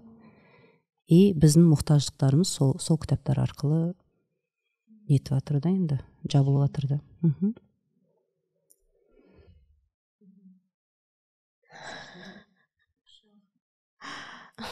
ойымды жинақтап алайын ну и здесь назревает такой вопрос. Как я выбираю книги дей ма М, ондай иә иә иә, сұрағыңыз бар ма екен иә, бар бар және ә, біз сізден тізімін алса бола ма мысалы қыздар. Тізім М, ә, кітапты қалай мен таңдаймын? Негізі сол клубта ашқан кезде де менің мақсатым болды. Енді өзімнің ана клубтан көріп келгенім бар ғой маған ұнады да ә, художественный литература әдеби кітаптарды оқыған ұнады. Солармен танысу. И мен өзіме жаңағы сол критерий ретінде қойдым да клубта біз сондай кітаптарды оқиықшы. Мен жаңағы мировой литературамен танысайық басқа неше түрлі мемлекеттің жазушыларымен танысайық. Психология емес жаңағы бала тәрбиесі мотивационный бизнес литература емес та ондайды оқығым келмеді. Енді арасында әркім өзі оқиды. Бір кітабымыз болды атомные привычки бірақ, бірақ соның өзінде мен байқадым. Жоқ керек емес екен дедім. Аяқтаған жоқпыз и да, бізге әрең жүрді да қызық та болмады ма? Ол жерде көбінесе теория теория теория ғой иә. А мына кітаптарда эмоция бар да сезімдер бар. И мен өзіме нақты солай белгіледім. Кітапта біз осындай кітаптарды оқимыз. Художественная литература и жаңағы классика дегендей. И сол бойынша келеміз. А так менде бір список жоқ. Бір жылда осы он екі кітапты оқимыз деген бір списогім жоқ. Әр ай списогіңіз болмай бастап кеттіңіз болмай иә? бастап кеттім. Мен даже уже бастадым да и примерно уже аз уақытымыз қалды. Бір аз оқитын кітабымыз болсыншы и бір қазақша бірінші кітабымызды қазақша бастайықшы дедім да сөйтіп. Демек франшиза скоро будет. Ойыма ойыма күретамыр түсті оқыған сол клубта оқыған кітап түсті. И мен де ойладым енді қайталанамын ба? Өзіме қатты бермедім. Қойшы сезім келді ма? Болды бастай бер какая разница да? Ол же қайталанасың ба қайталанбайсың ба деп. Сол бастап кеттім и менде қазір сол сондай жаңағы почувствован деп қояйық па? Қандай шабыт бойынша иногда бір ойымда жүреді. Инстаграмнан енді примерно жүз ә, топ кітаптар белгілі ғой иә? Мировая классика литература дегеннен. Сол ойларда жүреді. Солардан көбінесе таңдауға тырысамын. Ә, и варьирую жанры. Қазақша бір арасында қазақша оқимыз көбінесе енді орысша оқимыз иә ханымдармен.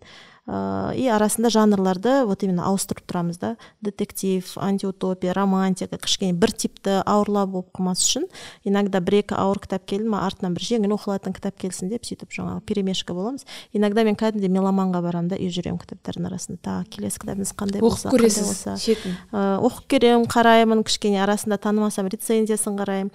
Бұған дейін мысалы там батыстың жазушыларын оқыдық па енді кішкене шығыстың жазушыларын көрейік дегенде да. Ойымда бар әлі орыстың жазушыларын көрмедік. Содан бір оқиық там японияны дегенде сондай сондай ғой короче шабыт пен сезімнен не келеді солай. Қатты бір не парюсь ол жағынан. Ыыы шарт та қоймаймын. В общем книжный клуб арқылы мен тағы да өзіме де шарт қоймауды үйрендім. И адамдарға да шарт қоймауды үйрендім. И қиналмауды да бағанағыдай бір нәрсе тырысып қиналып вот маған сонысымен негізі қарым қатынас бар кез келген жерде тәрбие жатыр иә? Әрине. сол үшін қарым қатынастарға жүгіріп жүгіріп тұру керек қой. Біздің даже осылай келіп жиналуымыздың үлкен не ғой өз өзімізді алып келудің өзі үлкен жұмыс қой. Негізі иә иә кездесуге алып келудің өзі жұмыс. Мхм мхм. Бүгін таңертең ерте тұрдым да. Тұрдым осылай отырмын да қатты ұйқым келіп тұр да. Ну зачем мне иә это мен не үшін істеп жатырмын деп ше. А ойбай жоқ құрсын бәрі нормально деп атып тұрған сондай бір мимолетный дейді ғой кім үшін десем болды ғой? Иә кім үшін десе болды уже бәрі орнына келеді. Керемет жауап. Енді мен мана бір сұрақ жазып келгенбіз ә, қандай кітаптар оқыдыңыздар қандай критериймен таңдадыңыз деп. Мен уже бұл сұраққа оқырмандар да жауап алады деп ойлаймын ана сайтыңыз мотивационный емес психология емес тек роман әлемдік классика иә? Бірақ бұл да запросқа қарай да мысалы. Бұл ғана дұрыс деп ойламаймын да? Мысалы кейбіреулерге қазіргі таңда білмеймін бала тәрбиесі қызық отношения қызық болуы мүмкін психология өзін дамыту. Әркім өзіне короче қандай запросы бар сондай тип сондай кітаптарды таңдайды. Детская литература арқылы бала тәрбиесін тауып алуға болады негізі. Негізі солай да. Иә біз қазір детский литературадан екі кітабымызды оқыдық. Шынымен көбісі айтады ана балаға деген көзқарасым оның ойын сезімін уже басқаша қараймын Или қандай кітаптар? Таинственный сад ең бірінші оқыған кітабымыз сол болды. И Э, «Маленький фрэнсис принц» па? бернет да. Маленький принц и осы жылы оқығанымыз полианна да негізі бәрі детский литература жанры бойынша а бірақ оны үлкендер де оқыса іші тұнып тұрған білмеймін Тәрбие. тәрбие көркем мінез мхм алар сабағы өте көп үлкендерге не только баламен қалай қарым қатынас жасаймын а даже өзіңнің ішкі жан дүниесі мысалы полианнада айтты ханымдар мен өзімнің кезіндегі балалық өзімнің көзқарас сезімдерім есіме түсті дейді да соның көбісін жоғалтып алыппын дегендей ғой. Өзімен қайта бір жүздескендей болады да. Сосын айтқым келгені мысалы ә, бір сториста жазған болатынмын. Оазисті іздеудің қажеті жоқ мысалы біз ә, жаңағы книжный клубпен бөліскен кезде бәрі айтады ой шіркін ай бізде болса ғой біз де қатыссақ қой бүйтсек қой сөйтсек қой деп айтады. Сол кезде мен айта, айт, жазған болатын бір теологтың бір ағайдың айтқан сөзі бар. Оазисті іздеудің қажеті жоқ. Сен бір жалғыз ағаш болып сол сен отырған жерінде өзің оазис жасай аласың дейді демек кішкентай ауыл болса да кішкентай қала болса да ә, флип вайлберис ә, алиэкспресс я не знаю неше түрлі марвин каспи бүкіл ә, жағдай бар. Сол кезде кітапты мысалы оқи бастап ә, қыздармен бірігіп ол сенің абысының болсын көршің болсын подружкаң болсын сыныптағы класстасың болсын или бір сыныпта балаларын оқитын мамочка болсын бәрің бірігіп кітап оқып солай орта аша аласыздар негізі. Мхм. и сосын кейін м тағы да бір нәрсе айтқым келді да че то ұмытып тұрмын деп па менде бір сұрақ қалып кетті. Мынау жақсы сұрақ екен бұны оқырман қойған. Кітап клубын ашқанда не нәрсеге мән берген жөн? И жүргізуші болуы қаншалықты маңызды? И қандай болуы? Маңызды деген сияқты. Менде бұл жерде бір жауап келіп тұр сізге қарап ә, бастысы желание болу керек иә? Қалау өзім сізде өзіңіздің дерт болып тұр ғой өзіңіз мұқтаж болып тұрсыз. Өзіңіз қалап та тұрсыз кітап оқуға. Сондай бір қалау болуы иә? Енді әрине иә бір нәрсені ну мен бұған өзім қалап келдім өзім ұнатып келдім. И мен бұны қазір с удовольствием жасаймын да қуана қуана мысалы төрт группамыз бар өткен апта а жоқ осы апта. Даже осы апта біз бүкіл төрт группамен кездесіп шықтық. Менде бір шаршау ойбай бір напряг деген нәрсе вообще болған жоқ. Ойланып қоямын мә бір аптада сразу төрт группамен кездестім ба? деп қоямын да уже когда сториста выставляла. Кітапты сағат түнгі онда барып ала салады біз үшін. Иә а бірақ это все мне в удовольствие да. Өйткені мен жақсы көремін ұнатамын бұл нәрсені. Ал бағанағы сұрағыңыз неден? А кітап клубы қандай критерийлар ма? Иә ну нені ескеру керек ашқан кезде. Әркім өзінің қажеттілігіне сай шығар. Мысалы бағанағы айтқандай кітап клубының неше түрлі форматтары бар да? Кімге қандай формат ұнайды? Ә, сосын ішіндегі шарттарын кімге қандай что важно да критерийлар? Мысалы мендегі критерийлар сол үш шарты бағанағыда одан кейін әртүрлі жанрды жаңағы оқу танысу. И одан кейін тек қана қыз келіншектер деген де шарт болды например шарт та чтобы ерлер или аралас та болуы мүмкін. Жас бойынша шарт жоқ енді басқа. Сол әркім өзіне сай қандай критерийларды не қалағысы келеді не алғысы келеді көргісі келеді солай шығар. А жетекшісінің болуы маңызды деп ойлаймын иә. Потому что енді любой бір обществода бір басын енді мен жаңа қатысушыларым директор апай деп атайды мені басында болғаннан кейін да енді күліп ойнаймыз оны әрине. Бірақ басында бәрібір басқаратын кішкене организационный моменты басындағы бас адам ол организационный моменттерге чисто жауап береді. И ондай обязательно болу керек. Әйтпесе ортақ бір шарт болмаса сол оның бәрін ұйымдастыратын адам болмаса реттеп отыратын келістіріп отыратын адам болмаса кішкене қиындау. Тем более қаншама да бір он он бес адам болса бәрін басын қосу бір уақытқа реттеу ыыы басқарушысыз ну организаторсыз дейікші басқарушы емес организаторсыз қиындау организатор болу керек иә. Болу керек та. Супер жақсы. Енді мындай сұрақ тоже оқырманның сұрағы. Көп адамдардың дейді көп адамдардың деп қойыпты. Көп адамдардың ә, кітапқа қызықпауының себебі неде деп ойлайсыз дейді? Мысалы сіз кезінде қызықпадыңыз ғой сол үшін. Қояйықшы осы сұрақты. Шектеулер. Шектеулер? Шектеулер. Мысалы? Өз басымда болған нәрсе мысалы кітап оқу туралы ойлар келіп жүрді и бел буғаннан кейін алла тағала бүкіл жағдайын жасап берді да маған. Кітап клубын да ашты да. Сол ниетіме қарай кітап клубын ашты. И мен сол кезде ә, кітап клубына қатысқан кезде ә, байқағаным фокусымды өзіме бұрдым. Мысалы қызыңыз да байқаған ғой иә мысалы? Мысалы даже бұл кісінің қойған сұрағы көп адамдар деп жазды. Негізі адамдар жоқ қой мен ғана бармын. И консультацияда мен қазір көп қыздарға айтамын кітап оқыңыздар кітап оқыңыздар айта берем айта берем на каждый консультация негізі былай қарасаң кішкене бір ә, қызық болып көрінеді иә негізі. Консультацияға адам келеді мен айтамын кітап оқыңыздар неге? Төребек ағай айтады ғой негізі семинарларда фокусыңды өзіңе бөл да? Бұр өзіңе бұр. И вот осы кітап оқу. Мысалы күйеумен қарым қатынас нетіп жатыр ма кішкене нашарлап жатыр ма? Бар да кітап оқы. Бала шағаңмен бір нәрсе болып жатыр ма? Бар да кітап оқы. Үйдің ә, мысалы көп қыздар сұрақ қояды. Кредитті қалай төлейміз ә, қарыздарды қалай жабамыз ипотеканы қалай жабамыз деп жазған, жазған кезде фокусты өзіңе бұр деп айтамыз ғой. Иә оның ішінде спа процедуры бет күтімі шаш күтімі болуы мүмкін. Бірақ ең оңайы мен үшін кітап оқу болды да. Семинарда мысалы ағай айтады шаш өсіріңіздер дейді. Әйел әйел адамдарға айтады шаш ұзын болса әйел адам сонымен алысады ғой мысалы оны жуу керек одан кейін тарау керек одан кейін кептіреді одан кейін өреді одан кейін бір уходын жасайды. Бес сағаттай уақыт кетсе демек сол кезде әйел өз өзіне қайтып келеді өзінің болмысына. Мен де кітап оқыған сайын фокус кімде болады? Өзімде болады. Демек мен ә, кітап оқу процесі үйдегі болып жатқан жағдайларды ұмытуға көмектесетін бір құрал ретінде. Ал егер менің ойым кредит ипотека бала ата ана ә, ата ене қарым қатынасы болса қайдағы кітап? Вот осы жерде мен өз өзіме рұқсат бермедім да кітап оқуға. Себебі менің бүкіл фокусым қайда болды? Сыртта. көп иә. адамдарда болды. Өзімде емес. А өзіме сұрақ қойған кезде вот жаңағы шымкентке ретритке бардық дедім ғой. Сол кезде өзіме сұрақ қойдым да. Өзіме өйткені сол жерде прям кәдімгідей шарт айтты. Қандай сұрақ қойдыңыз? Не қалайсыз сен өзің не қалайсың? Ол кезде бетпен проблема болды. Бет күтімін қаладым. Кітап оқу процесін. Өзімнің мысалы нелерімді жаңағы мечты дейді ғой армандарымды мысалы жазу. Сондай сондай нәрселерді неткен кезде арасында не шықты? Кітап оқу шықты. И бастап кеткенде мен байқағаным именно кітап оқыған кезде басқа нәрселерге алаңдамауға көмектесетін өте керемет құрал.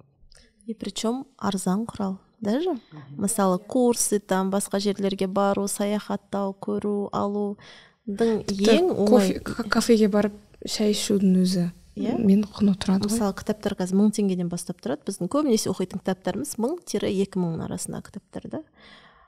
Өте арзан да ал ішінде баға жетпес білім. Тәжірибе да тәрбие. Эмоции. Мысалы енді айтады ғой ана көбінесе ну мынандай бір естігемін да көзқарас. Неге үлкен кісілер көбінесе сериалдар қарайды дегендер ше ну почему там ата анамыз зависает? И жолдасымнан мынандай бір жауап естідім да то что эмоция жетпейді да қазіргі адамдарға эмоция жетпейді да иә. И олар сол эмоцияны сол кино нелерден іздейді да. Өз арамызда біз сол эмоцияны қатты білдіре бермейміз даже айтпаймыз сезімдерімізбен дегендей. И қалада да қазір бәріміз бүйтіп қамалып қалғанбыз да. Көбінесе конечно не обобщаю. А сол сияқты кітапта да сол эмоцияны ала аласың да. Сол эмоцияны ала аласың шығара аласың и өзіңді жаңағы сол эмоцияңмен өзіңде де оны дамытасың да. Тоже құрал сол нәрсеге. Яғни эмпатия деген сияқты сезімдерді дамытуға болады. Иә. И сосын өзіңді танисың. Мысалы а оказывается менде де сондай сезім бар екен ғой мысалы да мен де өткенде құрбыммен білмеймін. Неткен кезде мен қызғаныштан сөйтіп жасаппын ғой мына кейіпкер сияқты дегендей да өзіңді танисың эмоция шығарасың жылайсың күлесің. Оның де бәрі эмоция ғой күшті иә. Адам ішінен босатып алады да. Кейбір кезде бізде вообще кейбір қатысушылар ыыы жақындармен қарым қатынасты түзетіп жатады.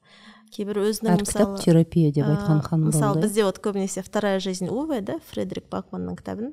Көбісі айтты мен ол кітапта сол кейіпкерде папамды көрдім әкемді. И қабылдадым. Мысалы мен ойлайтынмын неге ол сондай осындай мынандай деген қасиеттері ұқсас та увемен а кейбіреулер көбісі айтады мен күйеуімді көрдім да тура сол увді и қабылдадым дейді. Оказывается енді жақсы адам екен дегендей ма? Оказывается оның артында мынандай оның мейірімі заботасы сондай нәрселер бар екен дегендей. И бізде бірнеше ханым ув кітабын оқу арқылы өзінің көз күйеуіне деген бір білмеймін отношениесін дейміз ба көзқарасын дейміз ба өзгерді кәдімгідей. И әр кітап арқылы в общем сондай бір терапия болып жатады. Енді бәрінде сто процент деп айта алмаймын әрине за всех. Но талқылауда общий ондай нәрселер бізде шығып жатады. И это классно. Көп рахмет сұхбаттарыңызға. Өте қызық болды сіздерге де рахмет. Шақырғаныңызға ыыы иншаллах енді мына жерде бір күшті тілек жазып қойыппын. Ә, ізгі қоғам құру ізгі қоғам құру жолында оқы деген бұйрықты орындаушы құл болу жолында жеңілдік табандылық қайрат тілеймін. Сіздерге де барша оқырмандарға да өзіме бірінші орында. Алла әр бастаған істерімізге берекет тартсын. Сіздермен тыңдармандарға енді сыйлықта м бергіміз келіп тұр. Ә, комментарий жазған және осы м подкасттан түйген ойын комментарийге және ә, инстаграмға жазып біздің нәзік әлем парақшасын белгілеген оқырмандарға арасында бір сыйлық ә, берсек. Қалай қарайсыздар? Мен өзім ә, өзіме салсам сіздің клубыңызға бір жолдама бергім келеді. Егер бірақ ол алматыда болу керек иә? Офлайн болу керек қой иә? Ол үшін адам алматыда алматыда болу керек иә? Онлайн жоқ әзірге. Сізге яғни офлайн бар қазір. Пока тек қана офлайн алматы қаласы бойынша иә. Егер ә, оқырманнан сұраймын иә ә, бір комментарийдің ішінде таңдалғаны болса таңдалған оқырманға егер ол сұраймын алматыда болса сіздің оқырманға ә, сіздің клубыңызға бір жолдама ұсына алам ұсына аламын ба сыйлай аласыз ба? Иә қарастырайық. Оны детальдарын сізбен тағы да келісейік иә енді уақыты мерзімі дегендей қарастыруға болады әрине.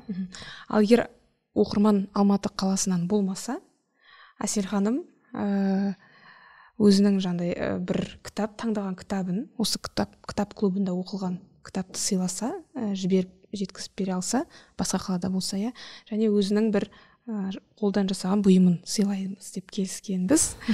Машаллах иә. Алматы қаласына болмаса егер оқырманға қараймыз. Әсел ханым сізде бір айтылмай қалған ойларыңыз бар ма? Мхм. Мен жаңа практика деп айтып жатыр ғой. И ә, жаңағы өзіме фокус бұру туралы.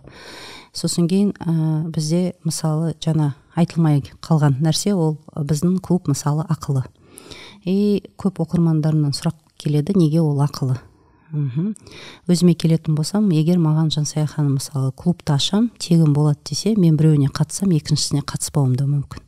Себебі ешқандай жауапкершілік жоқ. Ақша төлемедім. Маған какая разница? А ол кісі уақытын бөліп жатыр ма бөліп жатқан жоқ па? Кітап таңдап жатыр ма таңдап жатқан жоқ па? Қарамаймын оған. Егер мен ақша төлейтін болсам мысалы он мың теңге дейік иә взнос жаңа қалай қазақшасы? Жарна. Жарна. Егер мен оны мысалы он мың теңге төлейтін болсам демек мен уже сол ақшаға бола іс әрекет жасаймын да. Себебі ол жерге қидым ғой өзімнің бір. Өзімнің нәпақамнан бір он мың теңгені қидым. Тағы да қайталап айтамын егер ол тегін болатын болса демек ол маған қажет емес. Мен оған неғұрлым көп вклад жасаймын жаңағы өзімнің вклад дегеніміз ынтамы соны жасаған сайын мен ол нәрсені жақсы көре бастаймын. Мхм. Ценишь иә бағалайтын боламын да. Ә, жансая ханымның уақытын да демек мына жерде мынандай нәрсе кетіп қалады. Біз не, не үшін төлеуіміз керекпіз? Не үшін төлеуіміз керекпіз? Біз еңбегінің ақысын. иә. Жансая ханымның осы клуб ашып бізді ұйымдастырып кітапты бізге тағайындап кездесуді ұйымдастырып жасап берген еңбегі үшін төлейміз. Негізі бүкіл нәрсе мен үшін тегін ғой иә?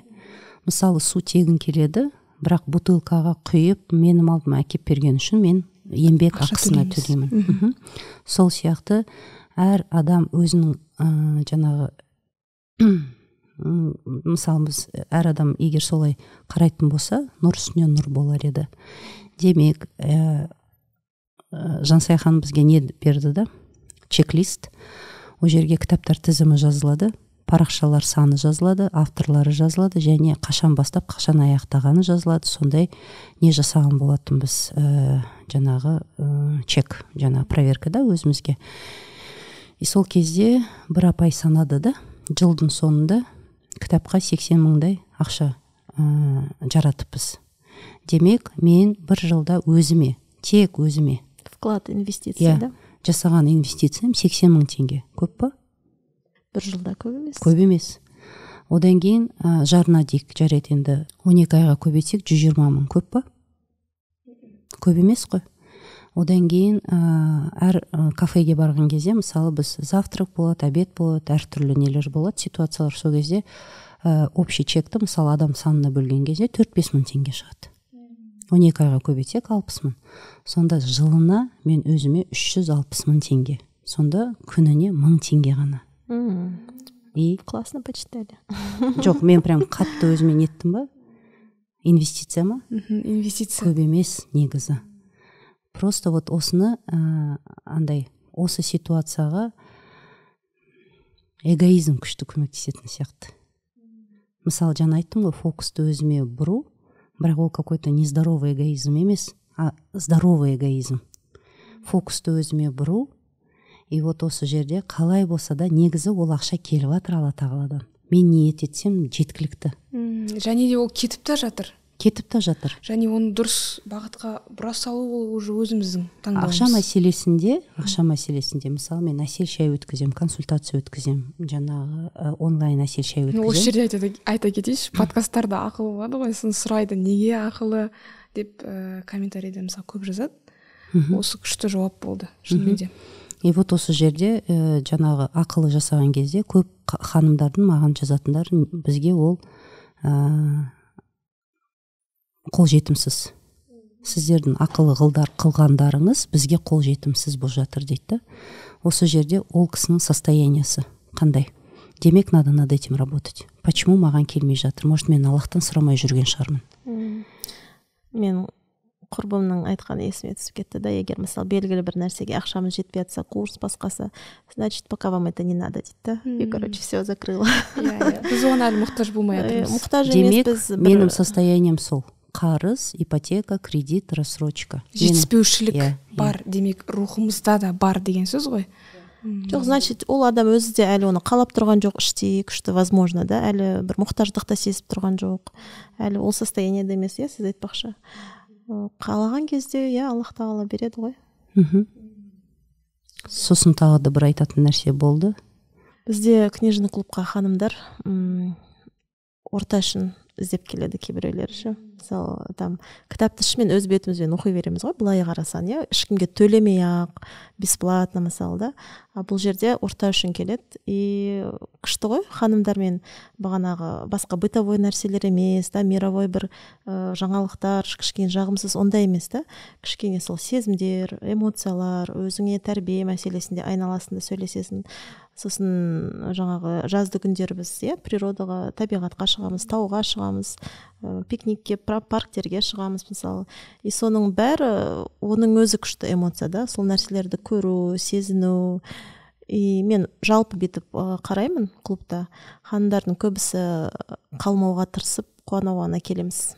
Бәріміз. Мен де соны в том числе. И бұл жерде не да кішкене все равны да клубта. Мынандай мұғалім оқушы деген бір позиция жоқ та. Бәріміз бірдейміз. И кім не айтса да ол өзінің ішіндегіні айтып жатыр дұрыс бұрыс деген нәрсе жоқ та. И сонысымен күшті орта деп ойлаймын да. Сосын кейін мені жаңағы есіме түсті. Жаңағы бөлісу арқылы бөлісу деген ә, мақтанып бөліспейміз. Бөлісу ол бір бірімізге көрсету. Мысалы егер біз адам болып осыны жасай алатын болса сен соны көру арқылы тура солай үйренуге болады. Ол керемет опыт деп ә, көрсету көрсет ну ниетім негізі бөлісу. Иә бөлісу. Менің әріптесім бар ә, кітап заказ берген. Суретке түсірген бәрі сіздердің кітап оқитын кітаптарыңыз тоже аңдып алып жазып жүріп сосын бәрін бірге флиптен заказ береді екен да. Сонысымен де күшті да қараңызшы ана ә, жарнаға төлемей даже ол қалада емес бірақ өйстіп бөлісу арқылы стористарда инстаграмда бір бірімізге иә уже басқа адамдар да оны тегін оқуға мүмкіншілік ну тегін емес а вообще оқуға мүмкіншілік та. Мен өзім айтамын қатысушыларға оқыған кітаптарыңызды стористарда или статустарда бөлісіп отырсаңыздар күшті болатын еді да. Өйткені адамдар қандай кітап оқимын деген кезде кішкене бір білмей қалуы мүмкін да. А сіздерден уже ол кітапты көрген кезде хотя бы есть уже информация и даже меломанға барған кезде уже танып тұрады. А мынау кітапты ғой апайлар оқыған дегендей да ханымдар? Алайыншы оқиыншы деген уже бір интересті и какой то бір ыыы ну уже информация болады да ханымдарда. Олардың ыыы кітап оқыса сіздерге де сауап жазылады иә? ну иншаллах иә. себепкер болған қандай күшті иә шынымен даже кітапқа қатысы жоқ адамдар кітап оқуына себепкер болып отыр да бөлісетін ханымдар көркем тыңдағандарыңызға рахмет. Сізге рахмет шақырғаныңызға. Бірінші опытымыз. Енді ә, маған да өте күшті болды. Біз кітап туралы көп оқылады ә, кітап оқу керек деп айтылады. Бірақ практикасында не істейін енді қалай оқиын деген сияқты сұрағыма керемет жауап керемет тәжірибелеріңізді алдым. Аллах разы болсын.